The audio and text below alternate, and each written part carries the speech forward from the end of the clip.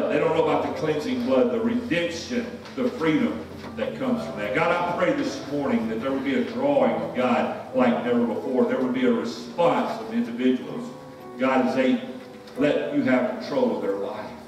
God, I ask you this morning and just say you're welcome in this place, Holy Spirit, that you have total freedom in this building this morning to deal with lives, to deal with us to the deepest, darkest moments of our life, God. I pray that we be free in Jesus because we've asked for forgiveness. Lord, we proclaimed it this morning. We know that we have an appointment with God, and Lord, we need to be ready, that we need to be open to the opportunities that present themselves this morning. So God, this morning, that you would have this time that is totally dedicated to you, that everything that we do, everything that we say, God, it's all about you this morning.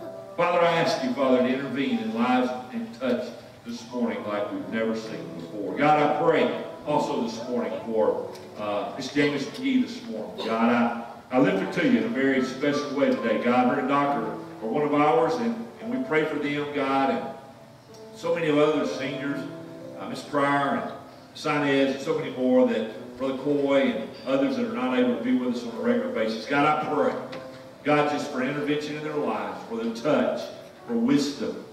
God, I, I pray this morning for people that, God, we would open our lives unto a holy and mighty God, to the power of the Holy Spirit of God, and allow you to minister, God, at our points of greatest need. God, I want you to get the victory in this building this morning. God, it's this time, it's worship. It's a, it's a time that's set apart for us to come together for the purpose of worship. So, Lord, you get the glory. God, let it be known right now. Let it be, even begin right now, God, the love of Jesus as we share one to another, God. We commit this time to you in Christ's name. Amen. Turn and greet your neighbors this morning. Catherine, we need the lights.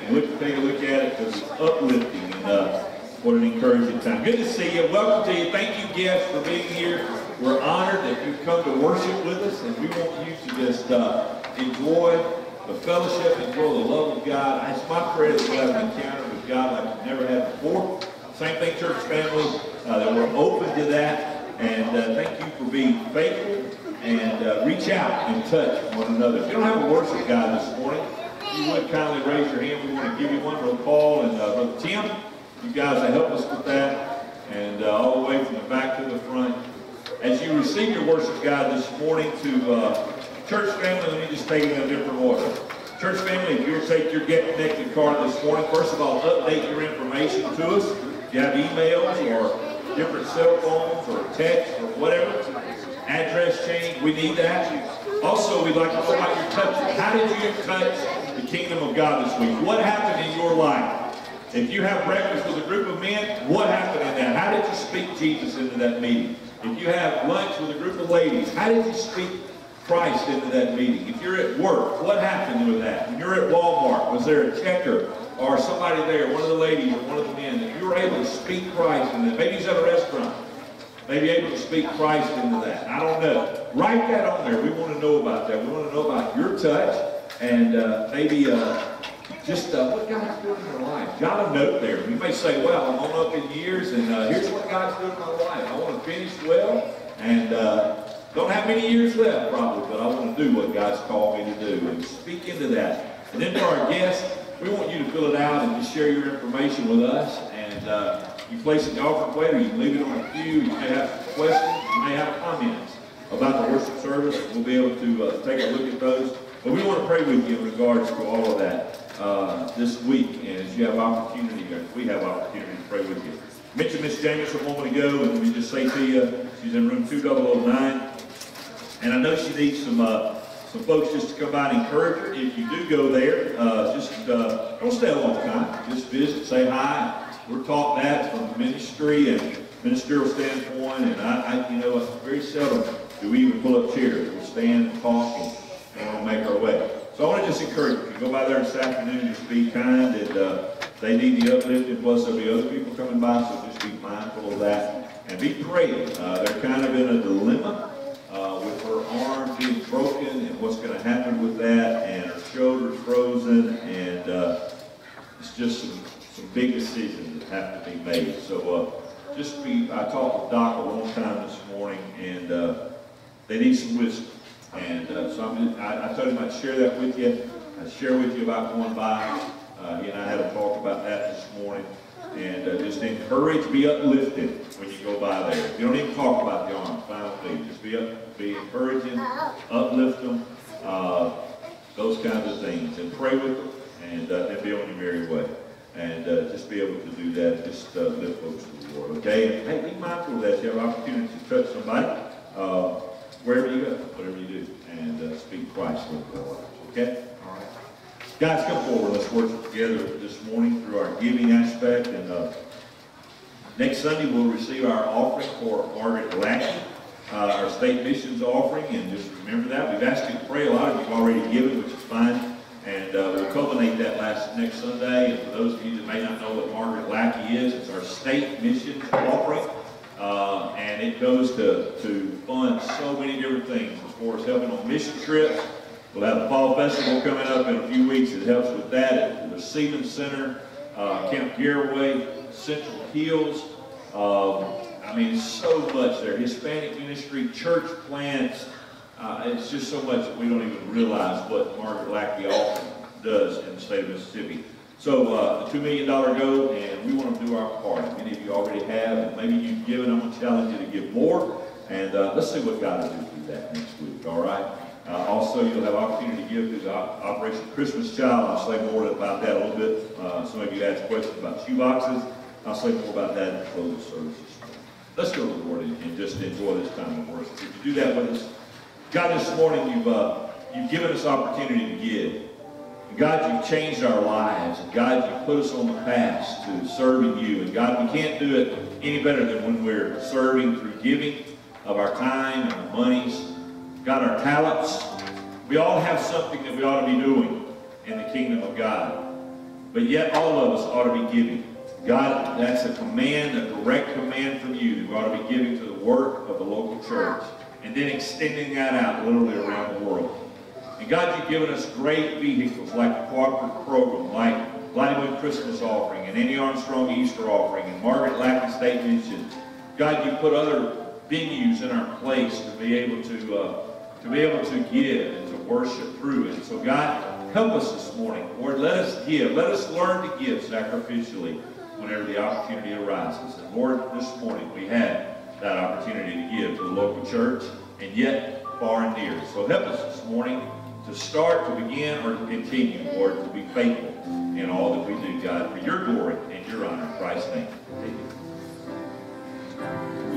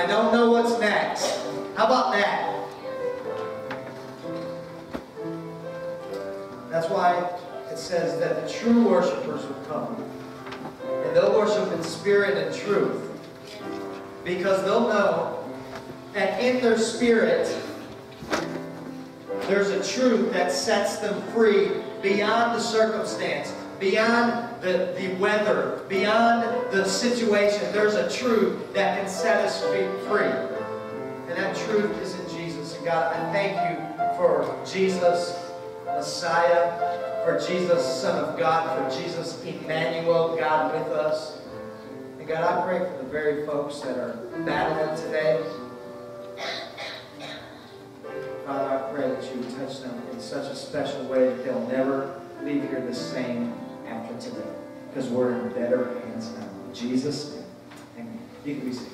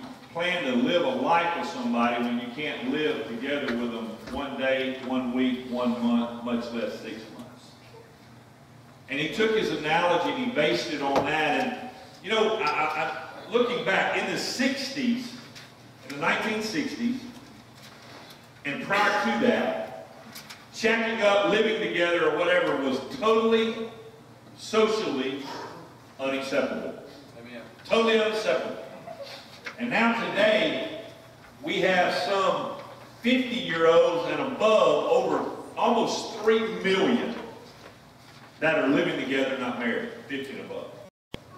Uh, we have uh,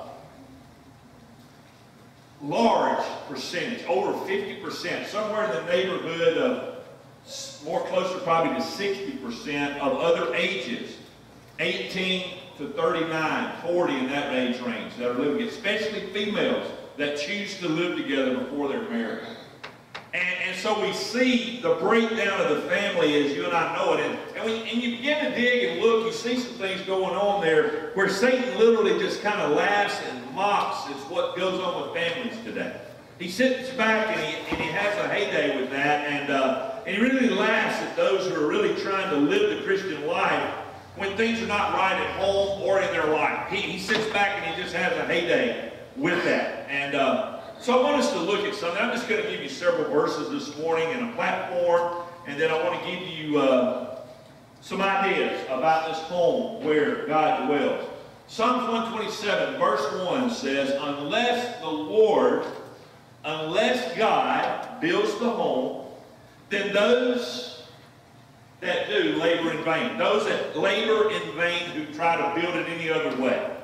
And we think about that, and, and you know, just looking at it in, in the New American sense, says, unless the Lord builds a house, they labor in vain who build it. And we can go on and talk about the city and the watchman and what all that means, but I, and I can tie that back into the family and show you some applications of that. But I want to go a little different direction. So let's pray this morning and see what God has for us. God, this morning, as we think about the home where God dwells, God, as we think about that platform, as we think about society today and the tearing and the breaking down of homes, and God, where we need to go with that in relationships, and God, how we want to honor you, Lord, I pray this morning, Father, that you would help us to pull our lives together. God, that you would help us to pull our marriages together. God, that you would help us to, to really look, God, at what you desire for family.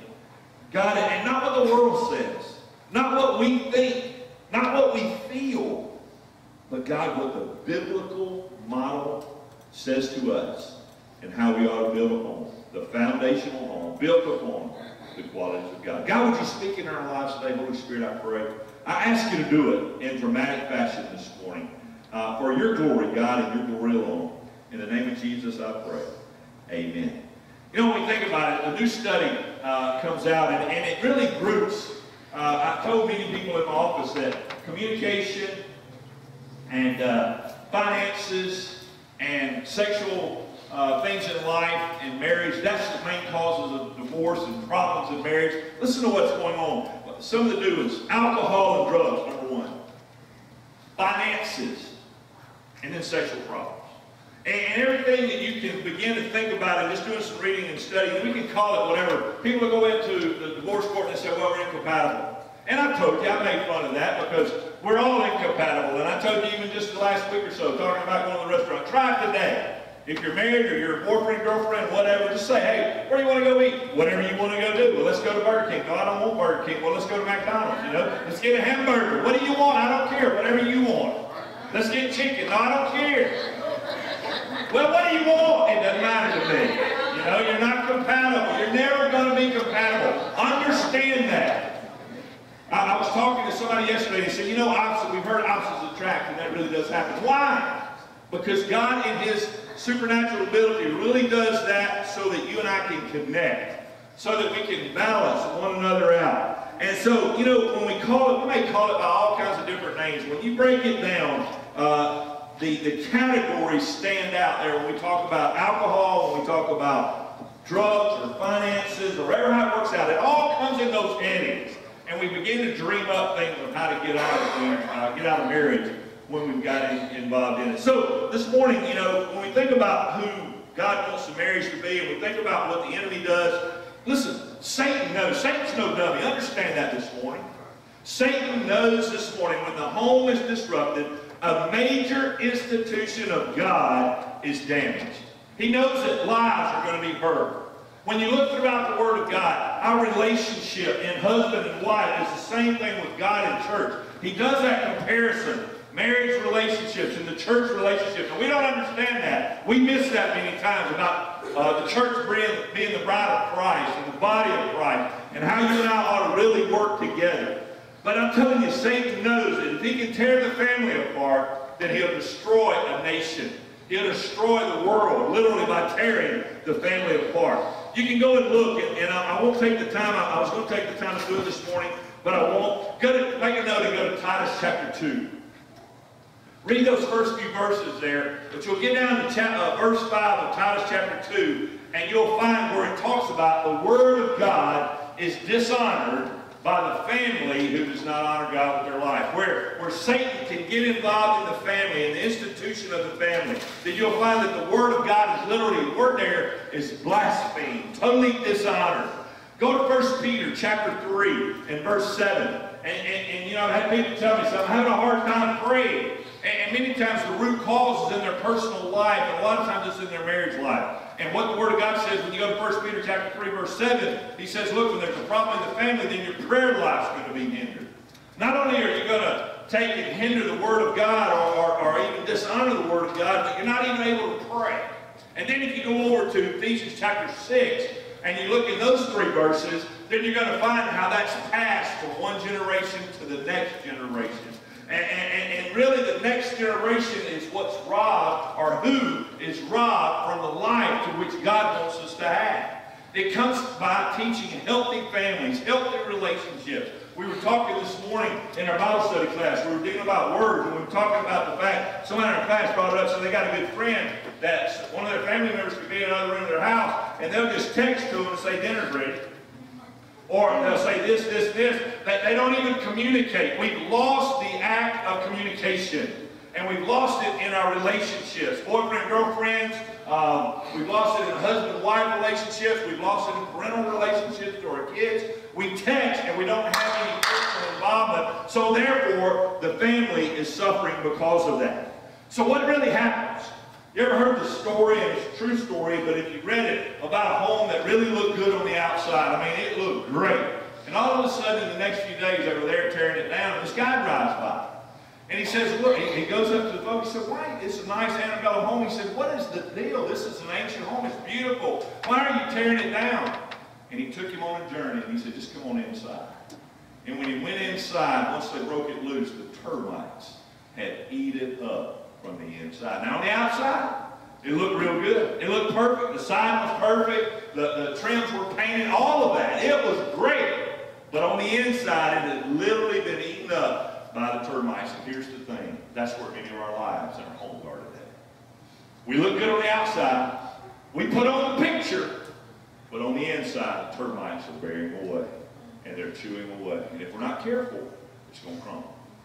It's going to crumble. And so we've got to do something about that. And so I want, I want to, this morning, to give you some realistic ideas about the home, about marriage, about what God says biblically marriage ought to be. Because I, I believe just in talking to couples, in talking to individuals, young people, uh, you know, you're looking forward to marriage and what it ought to be, some biblical principles that actually fit for who we are and where we need to be. And, and then we have to decide what we're going to do with that. So we're talking this morning about a home where God dwells. Can I just tell you this morning, first and foremost, that God designed marriage to be celebrated, to be enjoyed, and to be fun.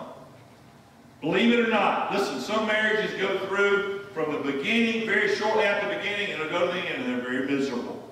But I'm telling you, that's not God's design. God intended for man and woman to come together, to have that home that would be celebrated, to be honored, to be, to be fun, to be exciting. God never said there was not going to be trouble, but He designed it for you and I to have fun and to celebrate. And I just want to ask you this morning, is your marriage relationship, is your dating relationship, the one you're in right now, is it fun? Is it exciting? I tell our kids all the time, I said, you know, don't ever date somebody you wouldn't be willing to marry. And I, and I think when you look at that and you look at what God's Word says, God's Word teaches us that. And the thing is, God built husband and wife to connect, but not only to connect, but to stay connected and to do whatever it takes to be connected. So, you know, when you think about it, God doesn't uh, doesn't, God doesn't desire for us to live boring lives. The world out there says that you and I as Christians live boring, boring lives. That's not what God says. God says that it ought to be exciting, it ought to be full of energy, it ought to be full of life. No, don't settle for anything less. I'm telling you, we bought into this thing to where we settle in on a scale of 1 to 10. We'll settle in for the 3, 4, 5, and we think we're doing great. And God's wanting us to get up there to 7, 8, 9 and really be what He's us, uh, called us to be. And I'm telling you, it's fun for me when I sit down and talk to some of our seniors and I hear them talk about 50 years, I hear them talk about 60 years, I hear them talking about approaching 70 years of marriage. Or I hear somebody say, well, this is what my life was like, and I miss my, my spouse. They've gone on to be with the Lord, and it's been five years, 10 years, 15 years, but I'm telling you, I had a godly spouse. We had a godly marriage, and God honored us. It blesses me to hear that. And I'm telling you, we need to hear more stories of that. And what I want you to understand this morning, don't miss, don't miss what God has for you this morning. Enjoy one another. Spend time enjoy one another. So I've been married 34 years. And I'm telling you, we, we, we, we learn to enjoy one another. We're still learning. And God does some great, great things and has done some great things in our life. But I'm it takes perseverance. These guys have been married 40, 50, 60 years. It takes perseverance to get there and to literally still have fun, to still love one another. Young people that are approaching marriage. Randy and Libby's back there. God, God willing, they'll be getting married later on in, in December. But you know, you guys, as you look at that, look at it with the perspective of what God wants and look at it long term. What does God really want for your life? Begin to plan and begin to, to learn and say, God, I want to be that wife. I want to be that husband that I need to be. God, help me to love one another. Help me to learn to love deeply. Guys, husbands this morning, learn to, to love your wife because Christ loved the church.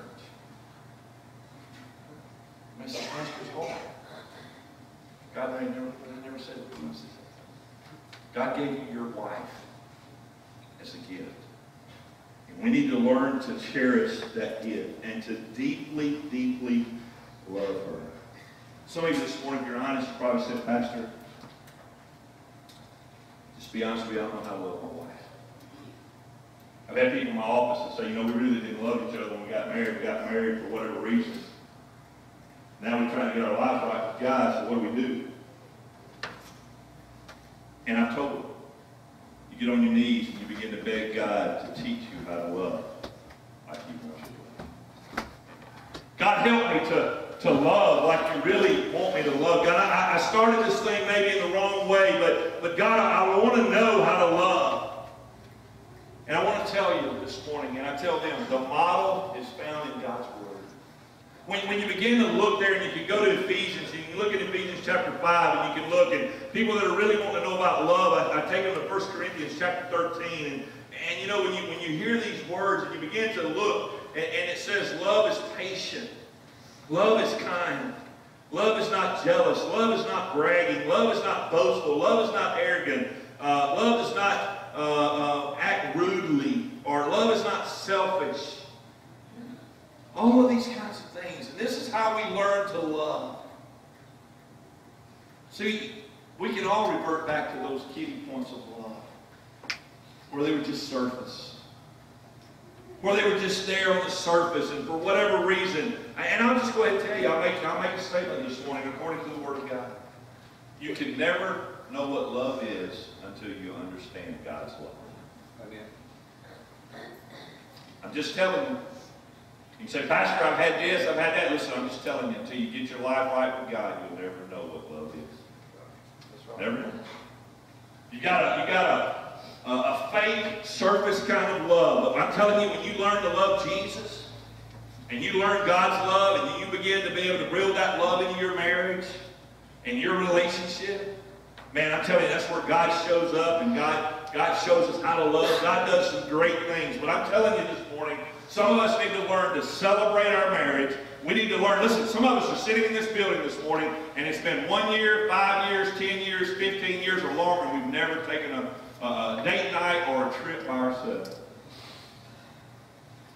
It's not healthy. It's not healthy. Pastor, we can't afford it. Yeah, you can afford it. You afford to do a lot of other things. Just simplify it.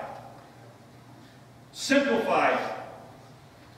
Go camping. Some of you go camping and you don't spend a lot of money. 15, 20 bucks a night. That's pretty cheap. You can do it. If you regard your relationship as important, you'll make it happen. You'll make it happen. Because here's the deal. We learned this in men's group the other night. Whatever we desire to do, we're going to make it happen. We're going to do what we want to do, regardless. And so if your relationship is important, you'll make it happen.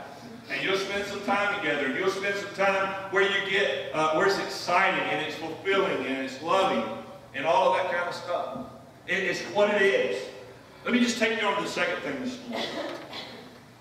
We need to learn to really just honor God with our marriage, to have fun, to be exciting about our marriage. But I'm telling you, God not only designed marriage to be exciting and fun and rewarding and honoring and all that kind of stuff, but He designed it for love and affection.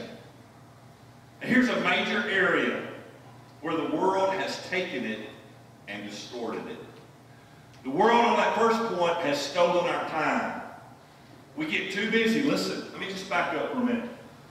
We get so busy with our kids that we forget about our relationship as husband and wife. We neglect that relationship, and then in just a short period of time, the alligators come hunting. And Satan comes because the door's open, and we get bit. Now, we've done good things because we poured it all into our kids. But I'm telling you this morning, adults this morning, young people, write it down. One of these days you're going to be in a relationship. Some of you are sitting so close I can't even see between you already this morning. But here's the deal. You're going to wake up one day and you need to realize what's going on in your life. The way you are right now, all hooked up, ought to be the same way you are 40 years down the road. That's the way it ought to be. It ought to be that kind of fun. It ought to be that kind of excitement. And don't let the world steal it away in the name of other things.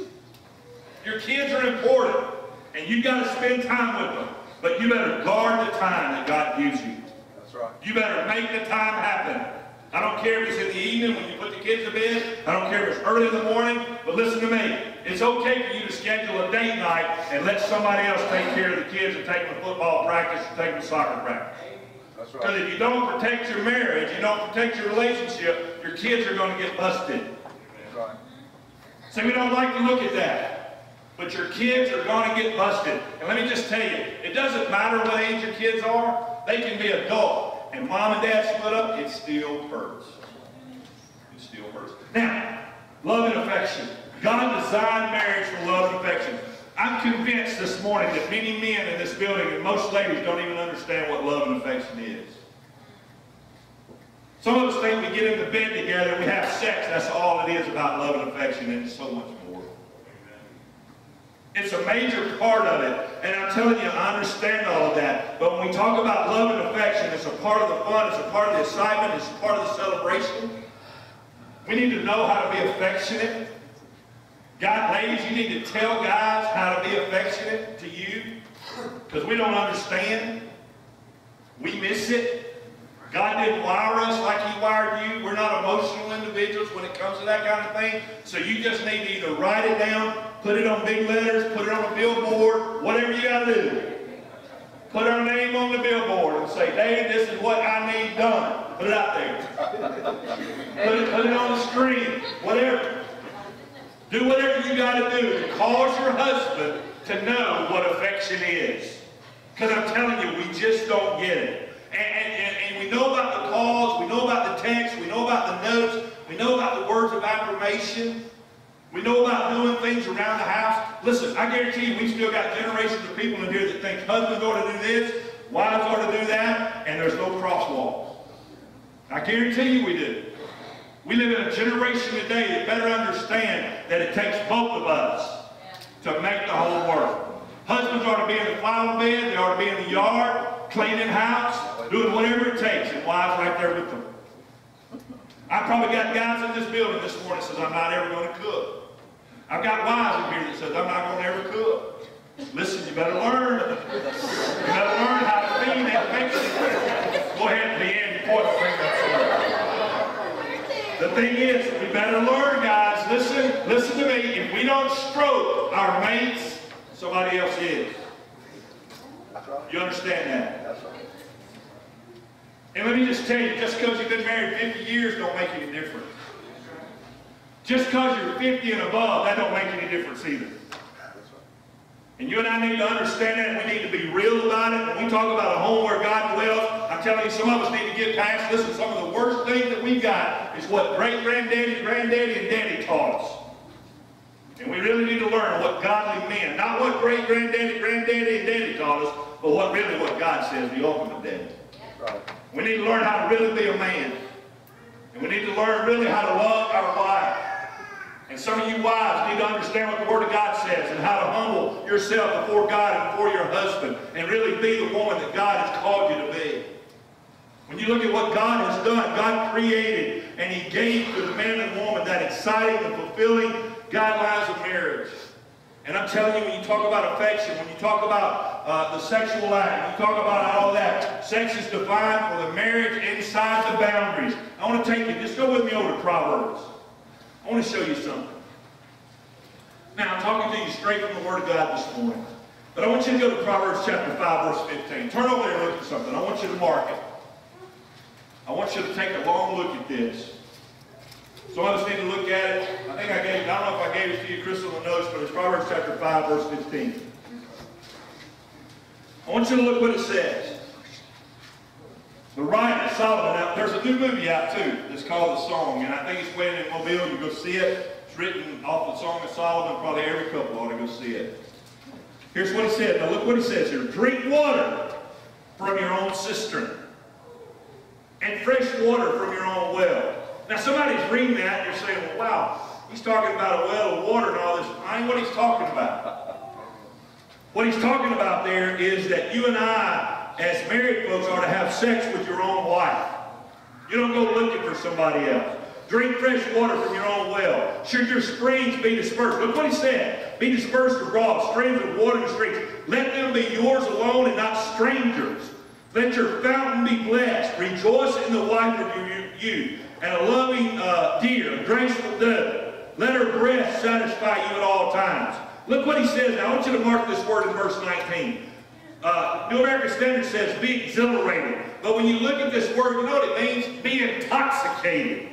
Be intoxicated always with her love. For why should you, my son, be intoxicated with an adulteress and embrace the bosom of another man's wife, another foreigner? For the ways of a man are before the eyes of the Lord, and he watches all of his past. I'm telling you, every one of us need to mark that down. I mean, you guys say amen. Some of you are uncomfortable as above my ant bed. But I'm telling you this morning, it's truth in the Word of God. And here, here's the deal. Listen, we've got 12, 13, and 14 year olds that are sexually active.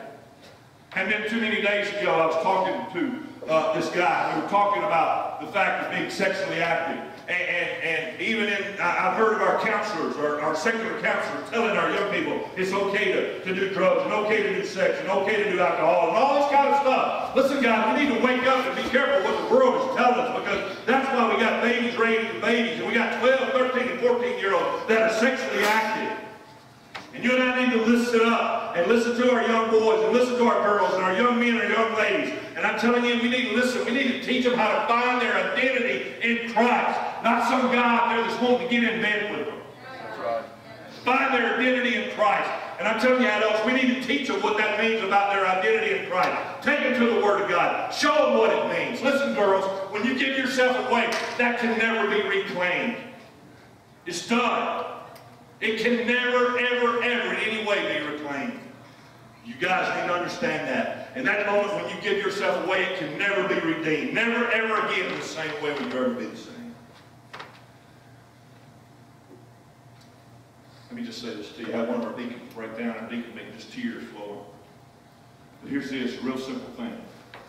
All you guys and young girls, when they get to be about 12 or 13, every one of you ought to take them out on the date. And you ought to take a little ring, something that you bought, special to you. Mine had, that I bought for Casey, had two hearts. You take them on a date, and you give them what we term, Johnny and I talked this a long time ago to us, you give it to them what we term as a promise ring. And that's what you're doing with that girl is, she's promising your heart, her heart, to your heart, to the day she gets married. And you see, when Jim and Casey walked on this platform some time ago, I took that promise ring off her hand. She's not here this morning. She's Brooke, one of her friends. But I took that ring off her hand, and I took a chain, and I put that ring on a chain, and I put it around her neck. And then in that service, I took Jim's ring that he'd got to her, and I slipped that ring.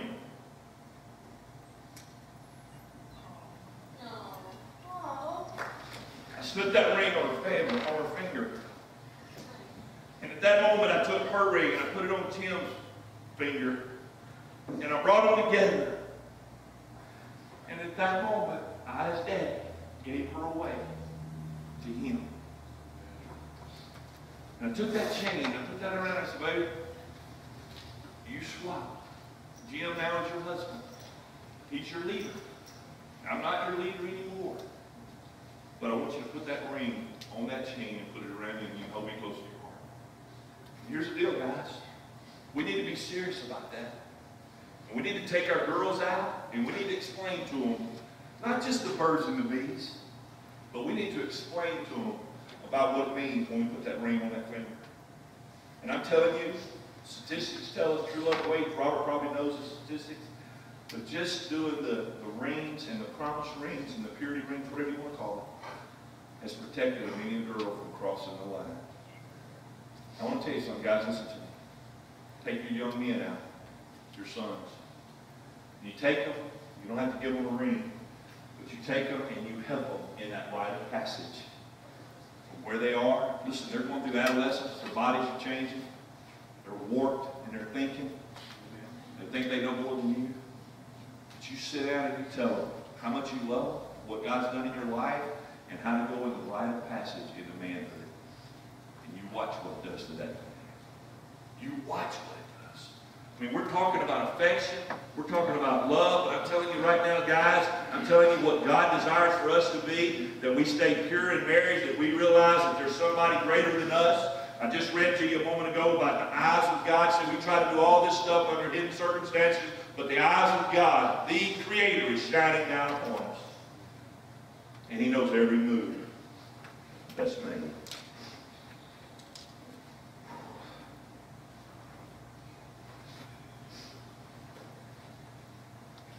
So on the word, and I'm crossing over to the third. Pastor, my parents don't know it, nobody else knows it. Maybe somebody in their spouse this morning. I've already crossed the line, Pastor, I need some help. What can happen in my life? Girls, you'll never get your virginity back. Guys, you'll never get back what you did when you crossed the line. But I'm telling you, God will forgive you. God will restore you.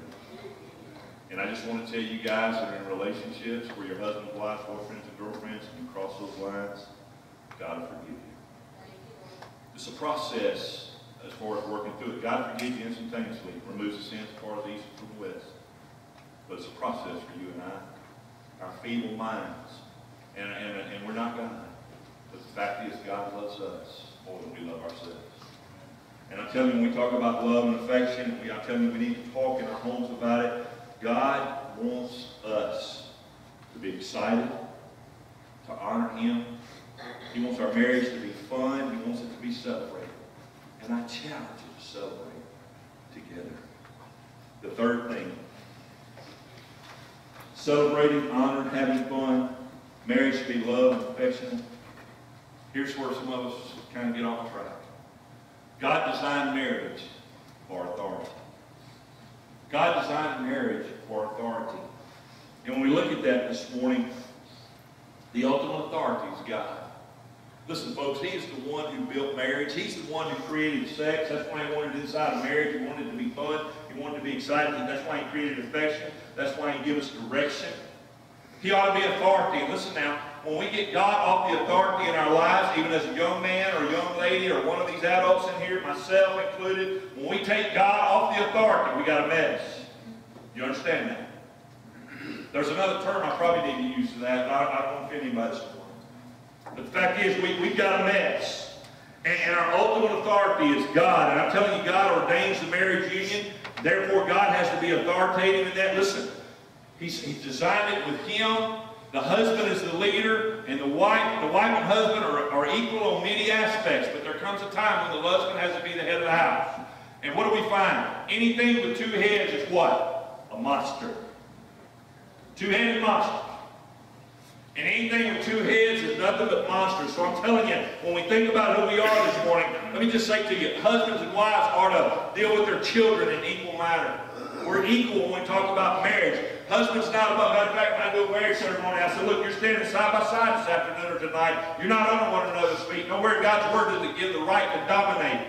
You women understand. It doesn't give you a right to dominate your husband. Down him. Tell him how bad he is. Tell him how sorry he is. You ought to be building him up if you're a child of God. You ought to be telling him, find one little good thing about your husband and beat it like a dead horse if you have to. But find something good. One of our problems is we got women that beat us down as men and beat us down. We can never do anything right. That's not the biblical model. At the same time, men ought to be those men who love their wives like Christ loved the church. To really step out and be the leader. We got men all over this building this morning, I guarantee you, that's never prayed for your wife. That's an audacity in the face of God. We got men that's never prayed on their family. It's an audacity in the face of God. We need to be praying, guys. You may go home today and say, I don't even know what to say. Well, sit down and say the blessing. I don't care. Start somewhere. Start somewhere. If you can't say nothing else, but God, thank you. That's it. And then let God do something else. God will take you, and God will do more for you than you ever understood. Listen, husbands, you and I need to be the head of the household. That doesn't mean you abuse your power. I've had guys in office that said, this is the way it's going to be because this is what I want. I tell you, you're in a mess of carpet. That's right. That's never what God said. Never. God doesn't say that you and I rule with the iron thumb. That goes back to granddaddy, great-granddaddy, and daddy's theology many times. Just like he said that you ought to never cry because it makes you look like a weeping. Tell him to read the Word of God. Amen. Find what Jesus done. I'm telling you, husbands and wives need to cry together. And I'm telling you, we got some women this morning, just as we got some men. You may not even deserve to be married, but you are, and you need to learn how to be godly men and godly women. And I'm telling you, as we look at this according to the Word of God, guys, you need to learn to, to lead your family, to really give all. You need to set the example.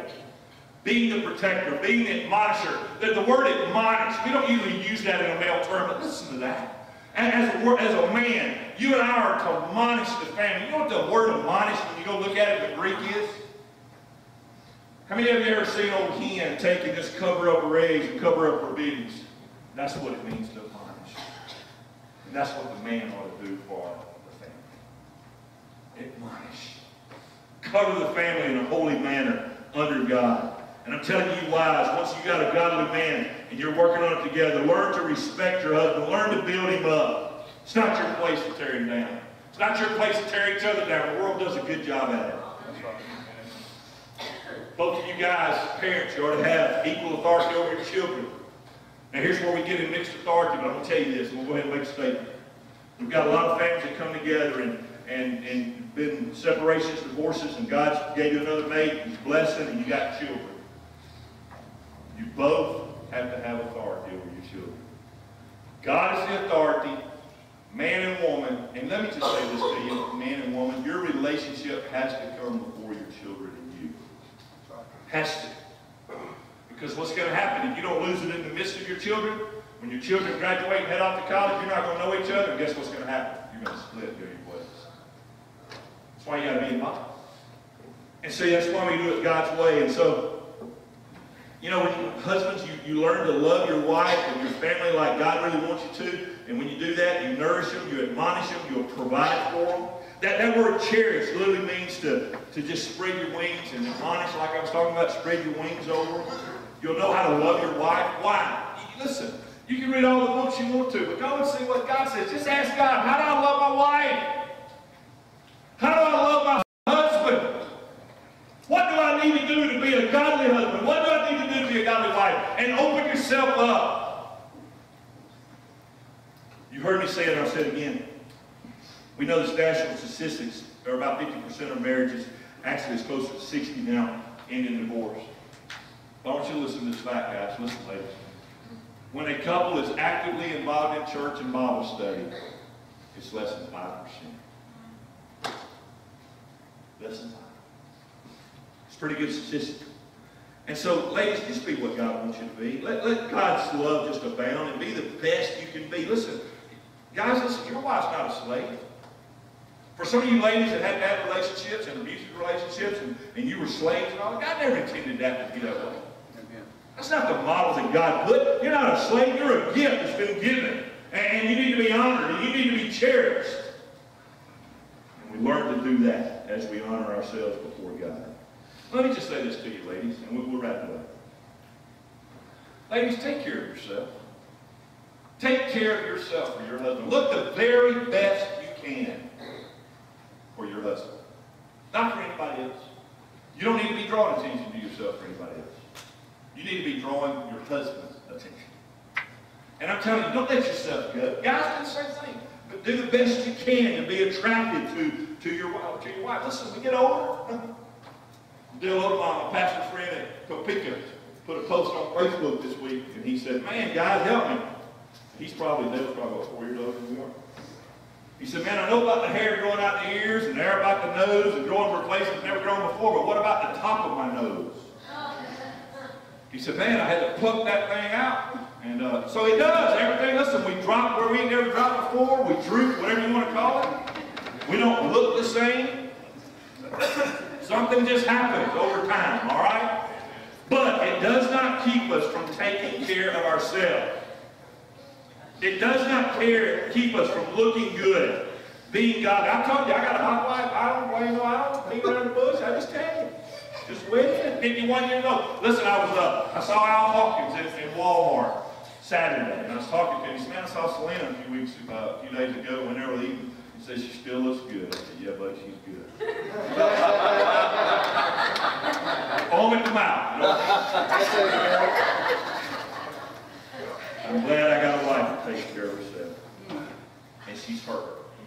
What you see on Sunday is what you'll see on Monday through Saturday. Amen. That's just the way it is. And I love her, and she knows that. And uh, so, you know, the thing is, be godly. You nor your husband, ladies, will ever be complete until you know how to bow at Jesus'. You want to know how to, and they've never been perfect. You pick somebody out. Don Bernice Pruitt. I love these guys. They've been exercising. They've Miss Bernice's help, but not allowed to do it. They swim in pool. I didn't embarrass brother. I didn't ask for permission. But I mean, just it blesses me if you see it, if you hang around them. And and James and some of those folks that like that, it blesses me. Go sit down and talk to them. See how they made it. They've been there. Don't try to reinvent the wheel. Go do what they do. Listen to them. Sit at the feet of Jesus. Walk in Kathy, and they struggle. You get up to It ain't been easy. Ladies, go to Proverbs 31. We're not going to do it this morning. But you go to Proverbs chapter 31, and the secret of your wife, uh, of your life, is fear and reverence of the Lord. Look at it yourself in Proverbs. The, the secret of your life as a Proverbs 31 is your fear and reverence for the Lord. Verse 30. We've been talking about a home where God dwells this morning, where, where we'll really honor God at all costs. Fruit producing. See it in our kids. Pastor, we, we, we've done a good job and our kids are straight. Listen, the Word of God says we're not going to have, we're, we're not going to raise kids and all of them will be perfect. You don't find that in the Word of God? Prodigal son say, oh, oh, wait there, just look at them. I don't understand. We don't have the answers why we have one child this way, one child that way, two children this way, three this way. We don't understand all of that. But I'm telling you as parents, you and I are called to honor God to be what God wants us to be, to literally have fun. I dare say there's parents in here where you never let your kids see the affection, the hugging, the kissing, the relationship. How are they going to learn? If you don't teach them and they don't see it, they're going to learn it on the internet. Used to be in a magazine or somewhere, but they're going to see it on the internet today. Wake up! Same thing with grandkids. You better show them because they're going to find somewhere else to go. We want to raise our children and we want to have a home where God dwells, then you and I have got to set the example. How do you get there? Pastor, I, I, I, have got all this stuff down. I, want to celebrate my marriage. I want to have love and affection. I, understand this authority thing. How do we get there? We're done. Truly done. First of all, you got to surrender. You got to surrender yourself.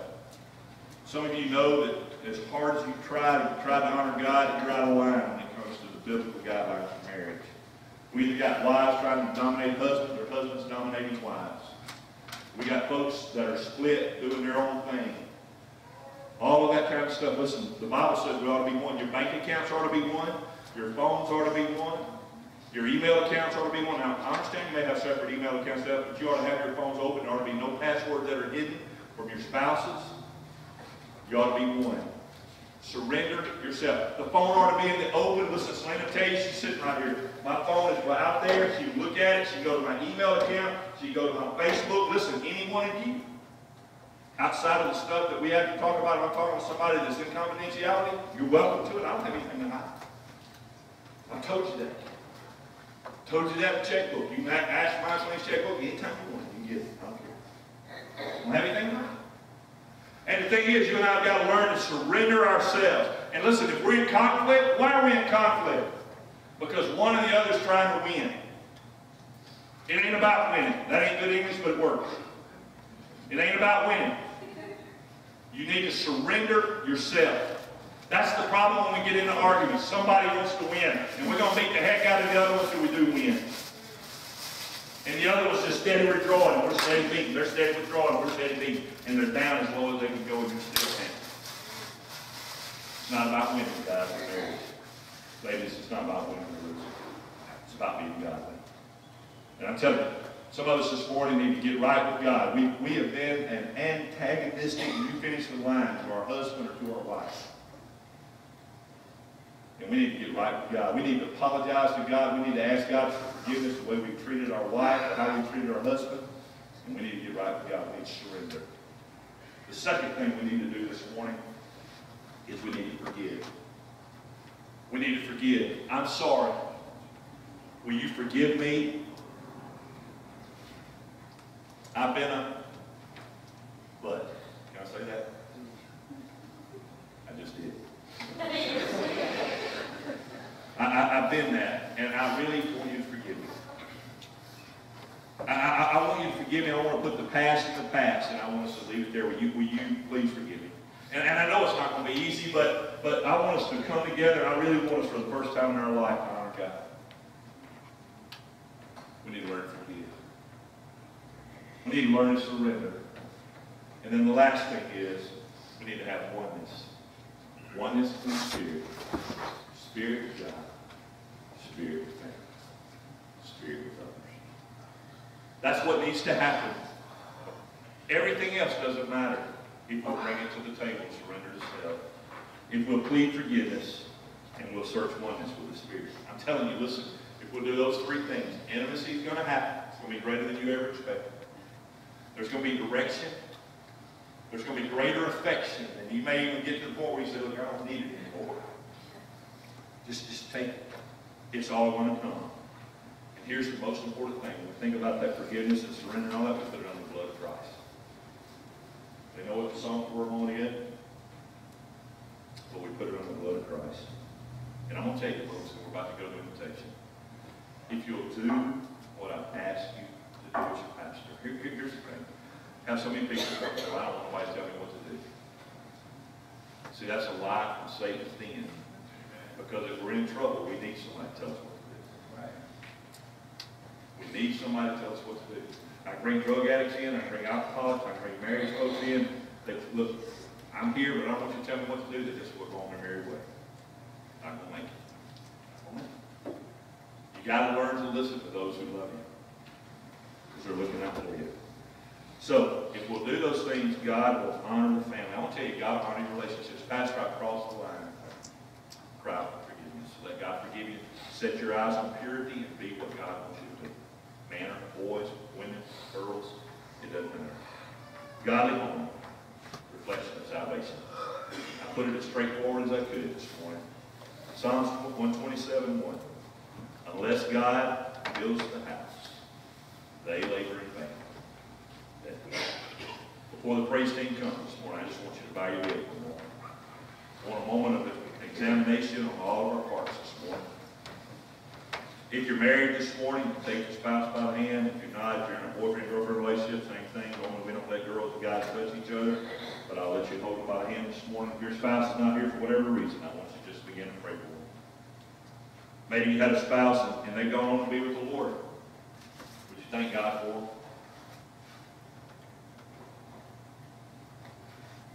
Would you just reach out and touch God this morning? Right now, in this invitation time, I probably had one of the greatest burdens on my life as a pastor that I've ever had in all my ministry, even through the difficult times of ministry. But in these last, probably year and a half, even the last six months, the greatest burden of my life is families. Kids, moms, dads, husbands, wives. I want you this morning, let me just start with our young people when I stand before. I don't want you to look up. First of all, if you've never crossed the line, young men and young ladies, I want you to say, God, from this day forward, I want to be as pure as pure can be. God, I want you to help me to protect myself from ever crossing the line.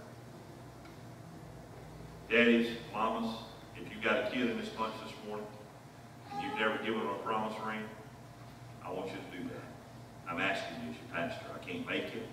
I'm asking you. Got a son in this bunch, I want you to take them out and talk to them about the rite of passage. If they're 12 or 13 years old, you need to talk to them. Now, young people, if you're one of those that have crossed the line, Pastor, I, have. That's between you and God, whoever else knows.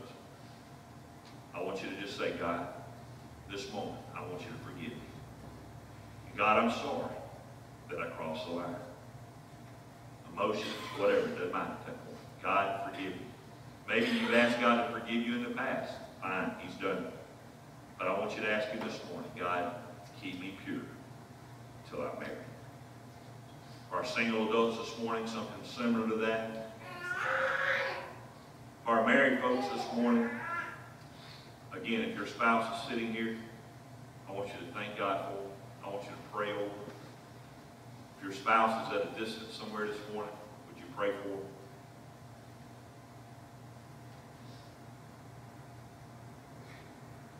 I want you to take our time right now to pray for your kids or your grandkids or both. God, I want to be that parent. God, help me to be a godly man and a godly woman. Help us to be godly parents, to teach them how to love in a healthy environment. Help us with our grandkids, God.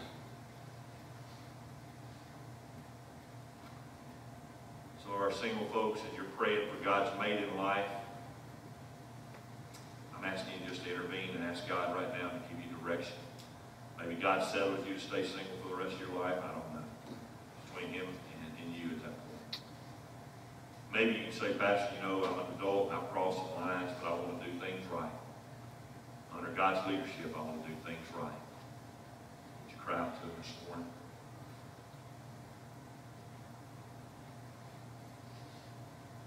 Other folks this morning maybe say, Pastor, I've never been saved.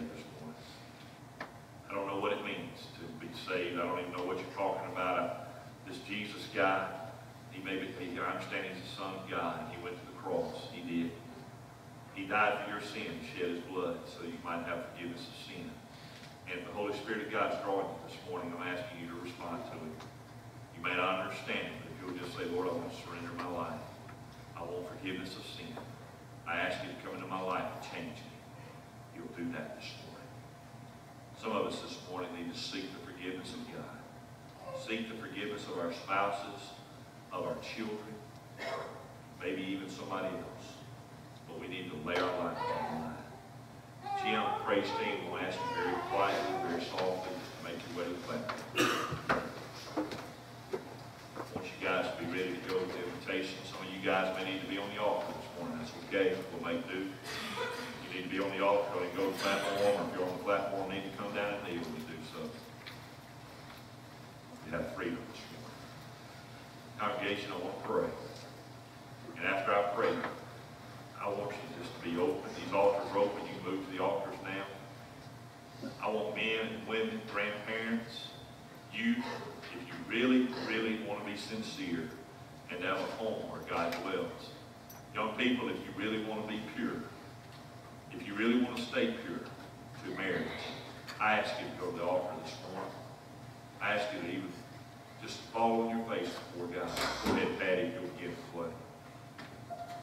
I'm asking this morning, husbands, wives, men, women, young people, single, married, whatever the case may be, I'm just asking you to be open to God. Father, in the name of Jesus, God, a home where God really dwells. God, awesome testimonies on what you've done in some homes and lives. But God, you want to do so much more. So God, I pray, as best I know how, God, I want you to relieve me of that burden. God, I want you to, I preach your words as best I know how. I'm laying these people before you today, God. And I ask you to move as you would, God. Challenge us where we need to be challenged. Lead us where we need to go. But God, most of all, make our homes a home where God dwells. In his name I pray. Amen. Stand with us.